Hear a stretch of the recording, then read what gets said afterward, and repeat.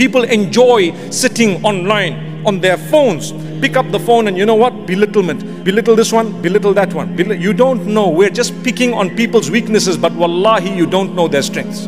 As an ummah, we are bleeding. You and I know what's happening in Gaza and in Palestine. And it would be wrong for us not to make a dua for them. Oh Allah, grant them victory. Oh Allah, grant them victory. Oh Allah, protect them. Oh Allah, liberate Al Aqsa. Oh Allah, grant us all goodness and liberate all the lands that belong to us as an ummah. Oh Allah, the struggling people of Palestine, grant them the best of this world and the next. Oh Allah, grant us justice all over the world, wherever the people are struggling in Sudan, in Afghanistan, in Syria, in Somalia, wherever they are, there are so many people across the globe. You know them better than I do. And oh Allah, amongst us, there are people struggling with so many struggles. Oh Allah, you be there for all of us and grant us ease. أقول قولي هذا وصلى الله وسلم على نبينا محمد والسلام عليكم ورحمة الله وبركاته